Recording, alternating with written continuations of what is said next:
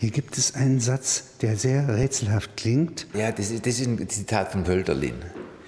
Ähm, tönend wie des Kalbs Haut die Erde. Erde.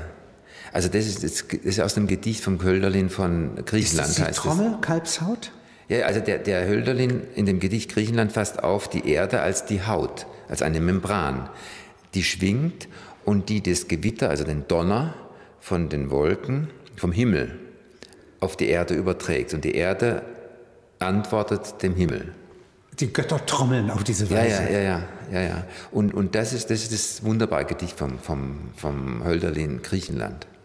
Und das tragen Sie denn im Herzen, ja, während Sie arbeiten.